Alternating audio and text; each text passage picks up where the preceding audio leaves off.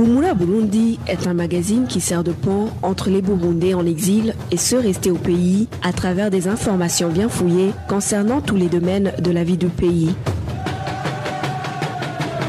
Le magazine Humura Burundi est diffusé sur le web via le site de la RPA www.rpa.bi. Humura Burundi.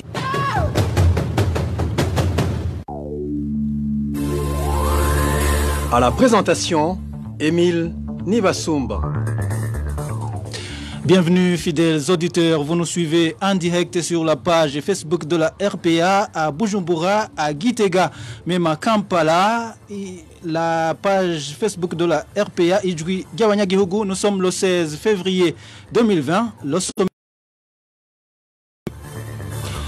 Ils étaient déjà à Kampala, mais le gouvernement du Burundi leur refuse le droit de se rendre à Bujumbura. Certains politiques burundais qui tentaient de se rapatrier sont bloqués dans la capitale ougandaise. Les éclaircissements à suivre dans cette édition. Vous, suivrez également dans cette édition les grognes des habitants de Gitega. Les routes se détériorent de plus en plus, les routes pourtant construites il y a moins de six mois. Et comme tous les dimanches, la rubrique Ubahuka constitue la seconde partie du magazine. L'on vous parle aujourd'hui de la fermeture effective des bureaux de change privés au Burundi. Je ne suis pas seul au studio. De l'autre côté, il y a Fabrice Ndimurukundo qui assure la mise en onde. Tout de suite, c'est le développement de son magazine. Politique pour commencer, Agaton Gwassa vient d'être désigné candidat au présidentiel par son parti, le Congrès national pour la liberté. C'était au cours d'un congrès extraordinaire tenu dans la journée à Bujumbura. Le président du CNL figure désormais sur la liste de plusieurs autres candidats potentiels au présidentiel du mois de mai 2020. Entre-temps, il y a d'autres politiques qui voudraient participer à ces élections de 2020, mais qui sont bloqués pour le moment dans la capitale ougandaise. Ces politiques se sont vus refuser le droit de continuer leur voyage. L'ancien secrétaire général du CNDD-FDD, Jérémy Gendakumana et Pamphile Mouderega étaient à la tête de cette équipe qui s'était rassemblée à Kampala pour pouvoir rejoindre Bujumbura, Vicky Chris Ninherezi. Un document comportant la signature d'Epiphanie Kabushemeye Ntamwana, ambassadrice du Burundi en Ouganda, comporte sinon des Burundais qui ne sont pas les bienvenus dans les ancêtres de cette ambassade. Il s'agit des politiciens qui, après quelques années d'exil, ont finalement décidé de rentrer au pays natal. N'ayant pas de document de voyage valide, ces Burundais avaient besoin de laisser passer leur permettrait de rentrer. Ils comptent donc sur l'ambassade du Burundi en Ouganda. Il s'agit entre autres de Jérémy Ndakumana, ancien président du CNDD-FDD, de Pamphile Mouderega, ancien secrétaire permanent du Comité national de coordination des aides CNCA, de Melchior Simbaru Hidje, ancien porte-parole du deuxième vice-président de la République, Gervais Lufikiri, de Vincent Garungu, ancien député du CNDD-FDD, de Denis Akizimana, ancien conseiller du président de l'Assemblée nationale, Pinhadjo Et de Dismas Ndouayo, ancien conseiller du deuxième vice-président, Gervais Rufikiri. Selon une source de la RPA proche de ces anciens cadres, Kampala devrait être le point de départ, et les uns y sont depuis le 13 février. Notre source signale toutefois que Melchior Simaruhidje ne s'y était pas encore rendu, comme il figurait sur la liste de ceux qui avaient négocié leur retour. Notre source précise que l'ambassadrice aurait cru qu'il était aussi sur place à Kampala. Et les raisons qui auraient poussé le pouvoir de Gitega de changer d'avis et le fait que l'équipe des anciens cadres n'aurait pas respecté les clauses du contrat, du moins si l'on en croit notre source. Certaines des conditions du gouvernement étaient que ce groupe rentre en silence et en petit groupe. La rédaction de la RPA a cherché à joindre certains de ces anciens cadres candidats au retour au pays. Seul Pamphile Moudelega a pu répondre à nos questions. Il a dit ne pas vouloir faire des commentaires sur le fameux, sur le fameux document qui serait affiché au tableau d'affichage à l'ambassade du Burundi en Ouganda. Toutefois, il a tenu à dire, je cite, Moi j'ai fait une demande officielle d'en laisser passer dans une ambassade burundaise pour rentrer chez moi, étant donné que mon passeport burundais n'était plus valide. J'attends une réponse. Fin de citation. Selon une source proche du groupe, des démarches sont en cours pour finalement débloquer la situation et donner le feu vert de rentrer à ces politiques. Ils auront l'appui du CMI. Pacifique Ninina Hazoué a fait une réaction par rapport à ce refus à ces politiques burundais. Refuser à un Burundais de rentrer dans son pays est une violation grave de ses droits. Ces propos sont de Pacifique Nina Hazoué, l'un des défenseurs burundais des droits de l'homme et président du FOCODE. Pour Pacifique Nina ce refus témoigne encore une fois du double langage du gouvernement burundais quant au retour au pays des réfugiés. Suivez plutôt Pacifique Nina nous venons d'être choqués en apprenant euh, que l'ambassadeur du Burundi en Ouganda, Madame Epiphanie Kabushemeye, a osé afficher à l'entrée de l'ambassade du Burundi à Kampala euh, que six Burundais n'ont pas le droit d'accéder à cette ambassade. Euh, et surtout que nous avons l'information que les six Burundais étaient en train de solliciter euh, auprès de cette ambassade des titres de voyage euh, pour retourner au Burundi après quelques années d'exil. Ce refus euh, sonne euh, comme une sorte euh, de refus même de la nationalité burundaise à ses citoyens, parce que chaque Burundais a le droit de s'adresser à tous les services du Burundi. C'est donc anormal qu'un ambassadeur se permette de dire que des Burundais n'ont pas le droit d'accéder à des services de leur pays. Euh, c'est encore des Burundais? Est-ce que leur nationalité euh, a été annulée Est-ce qu'un ambassadeur a aussi son pouvoir d'annuler euh, la nationalité d'un Burundais? Voilà des questions auxquelles le régime devrait répondre. Mais cette décision euh, nous amène euh, à faire deux constats. C'est d'abord le double langage des autorités burundaises qui d'un côté appellent les Burundais à rentrer, appellent les opposants politiques à rentrer, mais qui de l'autre prennent ce genre de décision interdisant à des Burundais de rentrer dans leur pays ou même qui les menacent. Deuxièmement, c'est aussi l'occasion de dénoncer le caractère exclusif du processus électoral en cours. Euh, selon les informations que nous avons de, euh, de la part de nos sources au sein du CNDD-FTD, la décision interdisant le retour de Jérémy Gendakumana et ses, euh, et ses collègues est venue de la direction même du parti. Pacifique Ninina Hazoué, le président du Forum pour la conscience et le développement. Poursuivons la page politique. Les Burundais devraient être vigilants et constater qu'ils sont en train d'être spoliés par Evariste Ndaïchimie. C'est l'avis du délégué général du Forum pour le renforcement de la société civile. Force en sigle, Vital Chimirimana dénonce le comportement de ce candidat du parti au pouvoir au présidentiel de collecter les biens de la population. Nous sommes surpris par le comportement inédit du candidat présidentiel du CNDD-FTD qui, depuis sa nomination le 26 janvier, a multiplié des visites au sein de la population, des visites qui s'organisent sous forme de réunions auxquelles participent non seulement la population, non seulement les membres du CNDD-FTD, mais aussi les hauts responsables euh, administratifs, militaires, policiers, judiciaires euh, de la province, euh, mais aussi euh, ceux qui font des déplacements à partir de, la capitale, de des capitales, Bujumbura et Gitega, mais aussi des réunions qui sont coiffées par une séance de dons qui sont donnés par la population au candidat présidentiel. On dirait que Evariste Ndaïchimie fait tout pour ne pas rompre la pratique déjà institutionnalisée par euh, Pierre Nkurunziza, mais ce qui est également accablant, c'est qu'il se comporte déjà comme un président de la République alors que l'élection n'a pas encore eu lieu.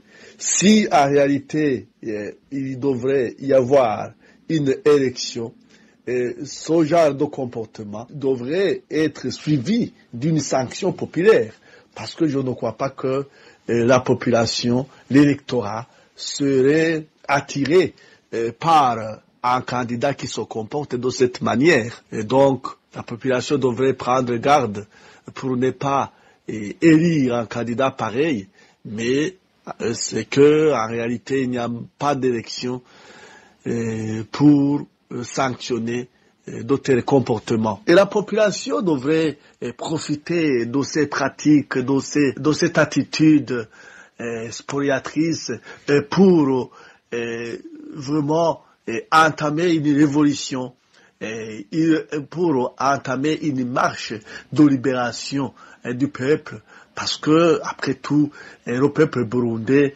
n'est pas condamné à être dirigé par des spoliateurs Signalons que depuis qu'il a été désigné candidat du parti au pouvoir aux prochaines présidentielles, les visites des varistes Ndaïchimier dans plusieurs provinces du pays sont caractérisées par la collecte des offrandes des offrandes plutôt lui destinées. Je vous rappelle que vous pouvez également recevoir le magazine Humura Burundi en nous envoyant un message sur notre WhatsApp. C'est le plus 49 151 294 16 348. Une courte pause et nous parlons de la fermeture de, de tous les bureaux de change privés au Burundi. Retrouvez les différentes productions de la RPA sur Facebook, YouTube, Twitter et sur www.rpa.bi. L'application de la mesure de fermeture de tous les bureaux de change privés a été effective depuis hier au Burundi. Cependant, certaines lacunes s'observent dans les banques commerciales qui s'occupent actuellement de ces opérations de change. La radio publique africaine a fait le tour de certaines banques dans le pays.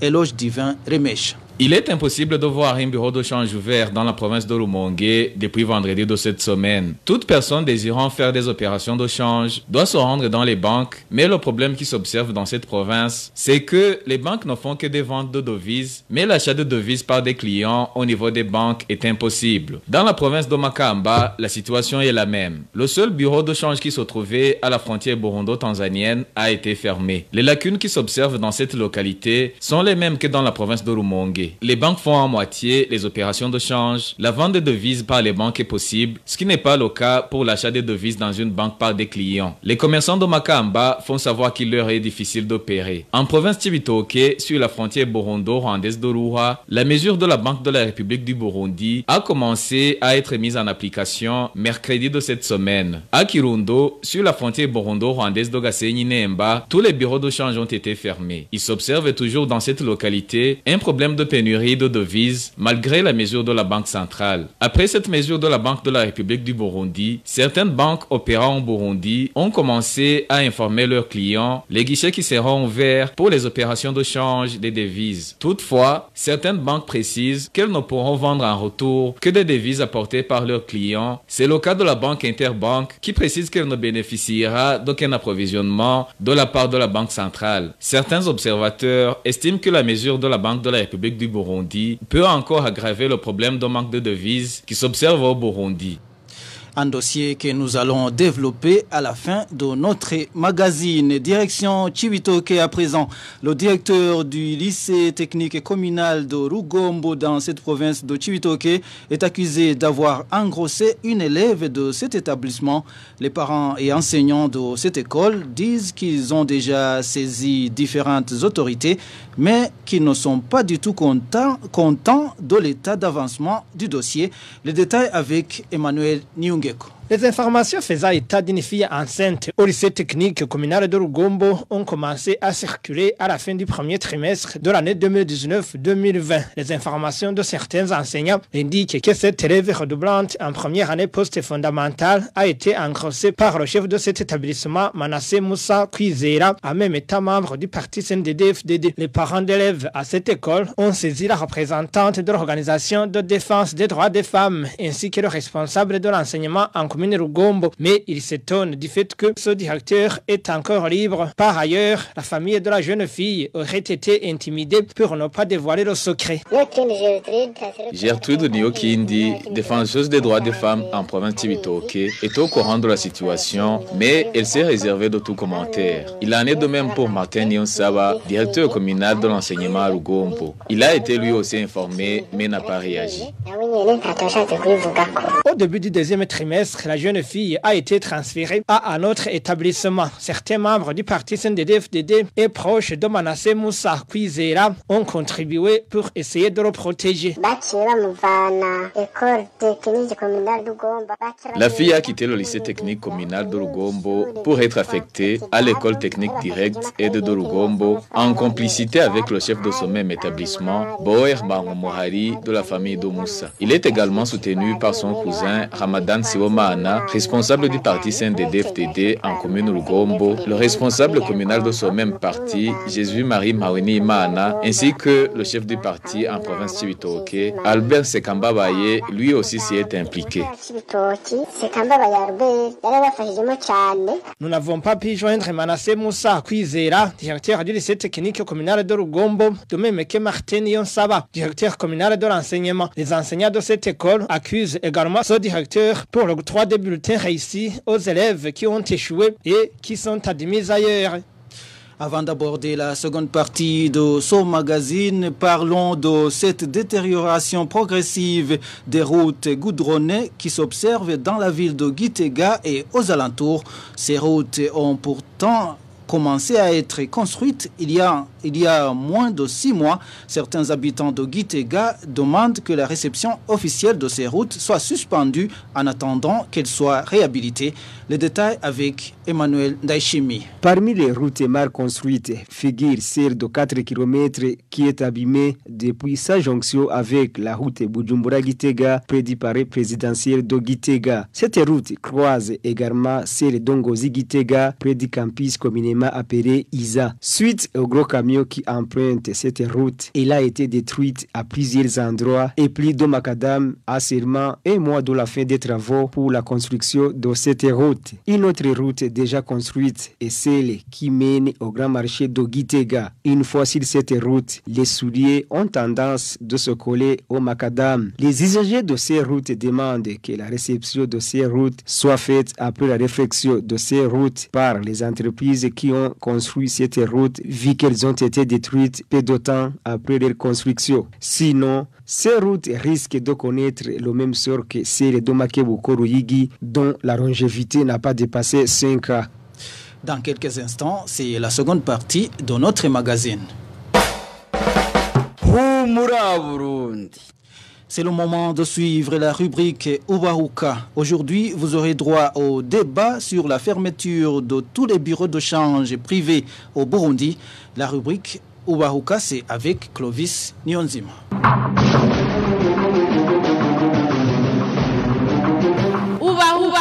Ubahuka. Ubahuka.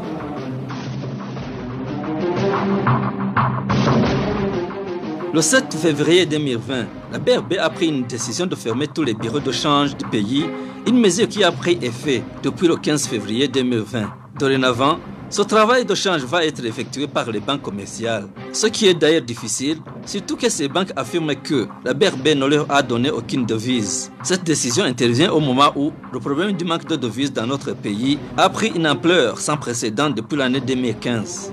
Dans l'émission Obahuka ce dimanche, notre invité va nous aider à comprendre les enjeux de cette mesure sur l'économie du pays ainsi que les conséquences qui en découleront. Notre invité, c'est Faustin Dikoumana, un économiste qui suit de près les questions économiques du Burundi. Au micro, vous êtes avec Clovis Nyonzima. Bienvenue. Uwo munyagihugu yahora abura hari itoborera canke nyene agatinya no kuritobora kubera gutinya. Uwo mutura ku mutwe butaratamanzura iyo yiteye mu ngundu y'igitoke. Canke iyo yisakiye mu gisaka. Aho naho atari karakinjakinja mu mukenkekenke. Ukamuha imikoro akabona kwikora mu gahogo. En août dernier, la BRB avait rendu public une nouvelle réglementation de change, mais elle n'a pas été observée par les cambistes par peur de tomber en faillite d'une façon irréversible, vu le prix d'achat qu'ils utilisaient pour s'approvisionner. Suite au non-respect du contenu de la circulaire relative à la marge bénéficiaire que ces bureaux doivent respecter, la BRB a décidé la fermeture de tous les bureaux de change du pays. Jean Chiza, gouverneur de la BRB, l'a annoncé le 7 février 2020.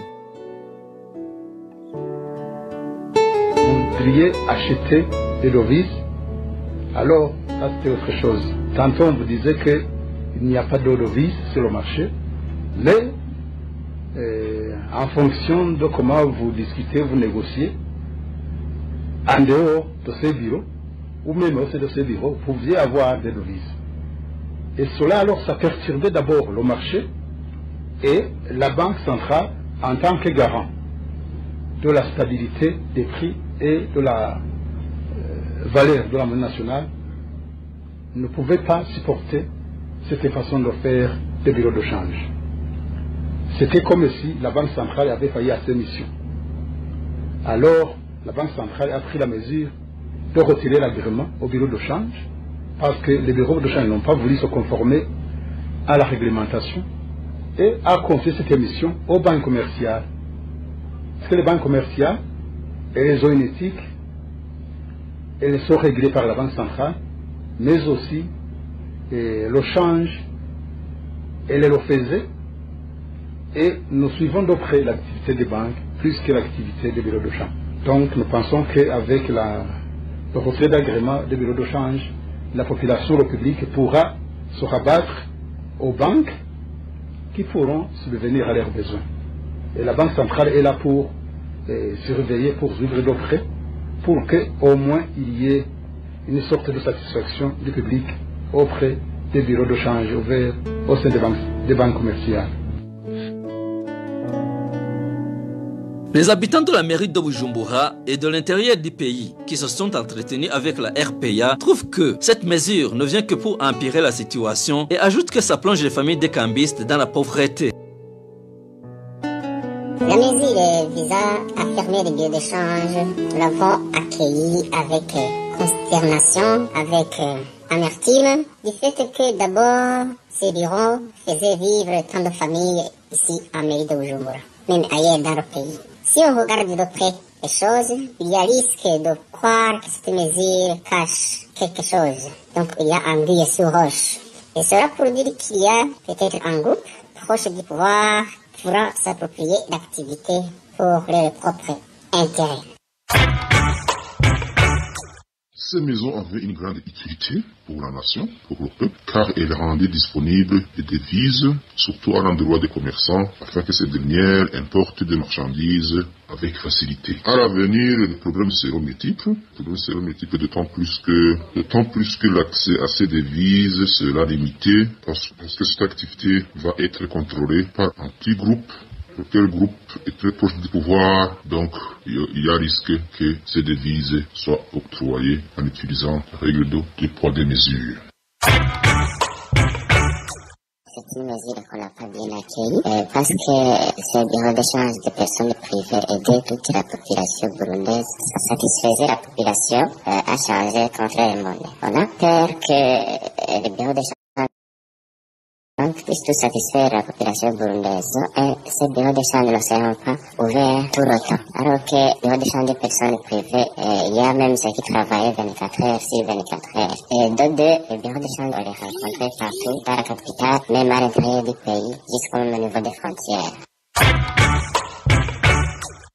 C'est une mesure qu'on n'a pas pris pour résoudre le problème qui était en place, mais qui vient pour empirer la situation parce que la population fait recours au changer les monnaies euh, au niveau du marché noir.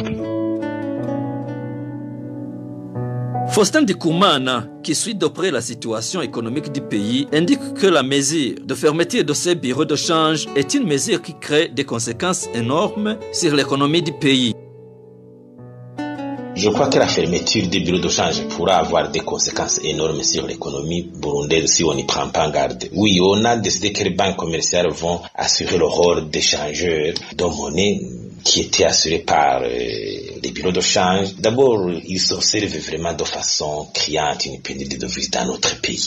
Et la BRB avait déjà pris des mesures de diminuer les ressources d'approvisionnement des devises des banques commerciales avec les, décisions antérieures qui demandaient que les transferts des ONG, des organisations internationales, transitent directement à la banque commerciale. On avait déjà réduit la marge de manœuvre des banques commerciales au niveau de l'approvisionnement des devises. Et puis, tu vois, la BRB devrait continuer à approvisionner les banques commerciales à travers ce qu'on appelle le régime de flottement, administrer des taux en organisant les, ventes aux enchères pour approvisionner régulièrement les banques commerciales en devises nécessaires. Aujourd'hui même, les banques commerciales ne parviennent plus à satisfaire la demande des importateurs classiques très importants au niveau de la production locale, comme les entreprises stratégiques comme la Braroudi. Si on analyse la, demande de devises, elle est nettement supérieure aux ressources en devises aujourd'hui. Si on analyse la structure de la balance commerciale, le taux de couverture des importations par les exportations est assez faible, inférieur à 20%. Et là où le bas blesse, c'est que même quand l'exploitation minière dont on nous a parlé, l'exploitation des terres rares d'Ogakara, l'or qui est exploité aujourd'hui, ça n'a pas permis à améliorer le niveau des réserves de change à la Banque centrale. Parce que avant 2015, on avait un niveau de réserve de change atteignant trois mois même. Mais aujourd'hui, on est à un mois même, voire moins. Alors qu'on est censé exploiter les ressources minières dont on dispose. Il y a un problème, il y a un hic. Les autorités du ministère des Finances devaient nous expliquer même ce paradoxe. Pour Faustin de Koumana, suite à cette mesure, la pénurie de devises va s'aggraver et l'investissement va tarir. Il y aura aussi le découragement des exportateurs. Et encore une fois, les exportateurs aujourd'hui, les touristes d'affaires ont diminué. Et c'est pour cela que la situation devient encore plus problématique. Cette fermeture, alors, pourrait avoir des conséquences comme euh, la pénurie qui, va s'aggraver parce que les besoins en devises à travers les financements, par exemple des bourses des enfants qui ne sont pas financées par l'État, les parents pour avoir besoin de cet argent, il y a les frais de santé à l'étranger, les différents voyages, les stages, etc. L'approvisionnement en biens, donc en importation, les importateurs qui doivent toujours importer quand ils, même ils ne peuvent pas faire recours aux devises des banques commerciales, il y a l'investissement qui va tarir, la croissance économique. Parce qu'on était censé vraiment entrer dans la véritable période d'orange économique. On a élaboré un plan national de développement assorti d'un plan d'action prioritaire. Et on voit qu'il n'y a pas vraiment d'offensive, de grands travaux publics pour vraiment montrer que le pays est sur la relance. Et les idées aussi vont continuer à acheter parce que quand l'environnement macroéconomique est perturbé, surtout au niveau de, de la politique de change, ça limite les investissements directs étrangers, le découragement même des exportateurs. Comme solution au manque de devises, Fossin de Koumana parle de disponibilisation des devises à travers des emprunts et des dons à l'extérieur et inciter les touristes à venir au Burundi. J'imagine qu'il faut prendre des mesures plutôt stratégiques. Le gouvernement terme doit disponibiliser à partir, à partir des des emprunts à l'extérieur, des dons à l'extérieur, à travers une politique volontariste de démarrer le décourage économique pour exercer de grands travaux d'investissement. Et cela alors va rééquilibrer notre balance commerciale, surtout notre balance de paiement. Et ça va lui permettre de réapprovisionner régulièrement les banques commerciales à travers ces ventes aux enchères. Et dans ce problème, dans cette situation de pénurie de devises, les de change devraient être soutenus. Les permettre de devenir des centres de captage de tous les devises qui entrent dans le pays. Inciter même les gens, les touristes à venir au Burundi, les Rwandais, les, les, les Congolais, les pays, les, les, les, les, les des pays limitrophes pour venir au Burundi pour faire des transactions ici sur place. L'économie burundaise est en grande partie eh, dominée par l'économie informelle. Nécessairement qu'il y a même des devises qui peuvent entrer de façon informelle. Mais il faut les capter. Si ces devises sont ici sur place, elles vont aider. Elles vont augmenter la capacité nationale de financement des importations. Parce qu'on doit aboutir à ça, de financement des importations, de financement des services extérieurs dont la population peut avoir besoin, mais que cette demande qui ne peut être pas être satisfaite par les structures bancaires classiques. Et aussi, il faut s'ententer à la dévaluation compétitive pour soutenir les exportations. Prendre des mesures qui incitent les gens à venir au Burundi placer de, de l'argent en devise. Il y a beaucoup d'éléments qui peuvent être utilisés pour eh, encourager l'entrée des devises, mais de façon libérale et la BRB va jouer son rôle de régulateur à travers l'augmentation de l'offre de devises sur le marché. C'est sur ces recommandations de notre invité Faustin Dikoumana que s'achève la rubrique Obaoka de ce dimanche qui était centrée sur les enjeux de la fermeture de tous les bureaux de change du Burundi et les conséquences pouvant en découdre. Merci à notre invité, merci à vous tous qui nous suivez. Au micro, vous étiez avec Lovis Nyonzima. À la prochaine.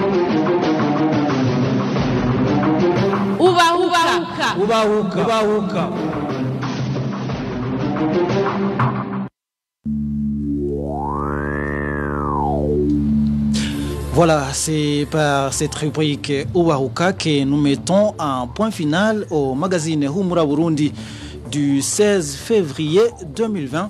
Merci à Fabrice Ndumurukundo pour sa collaboration technique. Merci également à vous tous qui nous suivez. Emile Nibasumba, j'étais à la présentation de ce magazine. Au revoir.